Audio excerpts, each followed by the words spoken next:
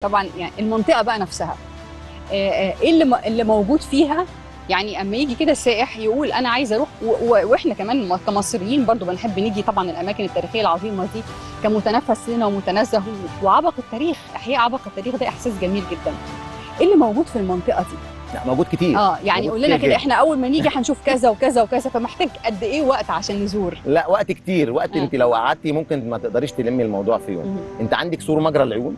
اللي كان بيوصل من من النيل للقلعة مية وعبقرية ال- ال- ال- ال- ال- المصمم أو المهندس اللي صمم حاجة زي كده دي حاجة آه، عند حضرتك هنا المتحف الحضارات اللي كله فيه اتنقل نقل المومياوات اللي كان تم مم. وجا العالم كله شافه ده موجود هنا برضه حضرتك لو بصيت هنا هتلاقيه آه، عندنا جامع عمرو بن العاص اللي تم تطويره.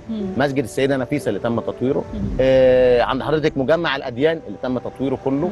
بالكامل فلا عند حضرتك كم كبير وحديقة جدا من الفسطاط. كمان وحديقة الفسطاط ما هي دي حديقة الفسطاط هي آه. رابطة. يعني عمرو بن العاص هي حديقة الفسطاط إحنا صورنا فيها من قريب مجمع. الأديان وعمرو بن العاص يعني هو عمرو بن العاص. أصبح. هو مجمع الأديان جوه الفسطاط. يعني آه، خلاص لحموا في بعض آه، المساحة الخضراء والحاجات دي كلها وصلت لغاية هناك.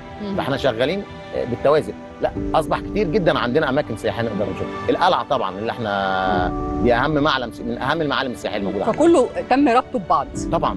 طبعا وده الأساس